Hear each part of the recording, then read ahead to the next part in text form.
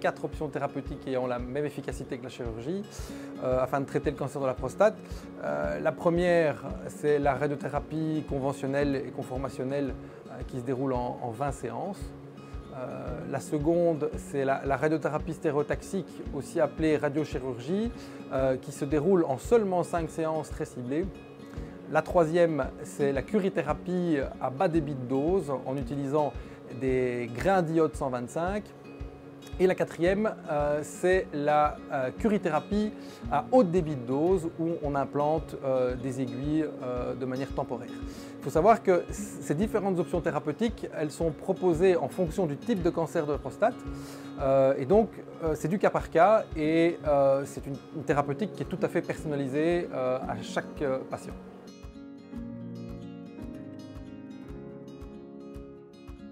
Alors oui, euh, nous sommes les, pionniers en Belgique euh, dans le traitement de radiothérapie stéréotaxique avec euh, le, démarrage de cette technique sur le site de Jolimont en janvier 2021. pour ce faire, nous utilisons un accélérateur de particules dédié spécifiquement à cette technique, ainsi que des moyens de repositionnement du patient qui sont personnalisés par rapport à son anatomie.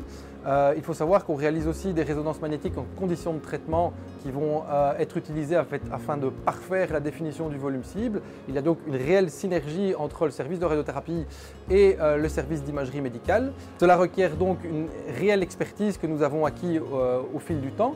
Nous avons aussi d'autres techniques innovantes afin de traiter les cancers de la prostate. Nous avons la, la curithérapie à bas débit de dose en utilisant des grains d'iode 125 que l'on va placer de manière permanente dans la prostate, euh, ainsi que la radiothérapie à haut débit de dose où on va placer euh, au sein de la prostate des euh, aiguilles temporaires qui seront reliées à un projecteur de source spécifique. Il faut savoir que ce projecteur de source utilisé pour cette technique est le premier à, avoir été installé en Belgique.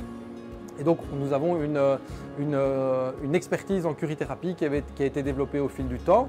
Il faut savoir aussi que la curithérapie de la prostate est réalisée euh, en, collaboration avec le service d'urologie. Donc il y a une réelle synergie entre nos deux services euh, quant à la réalisation de cette technique.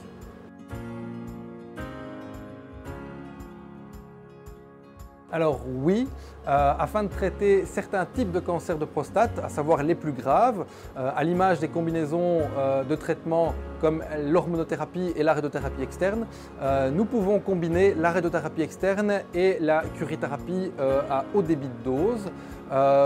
peu de services de radiothérapie en Belgique proposent ce type de traitement faute de formation du personnel et faute d'équipement.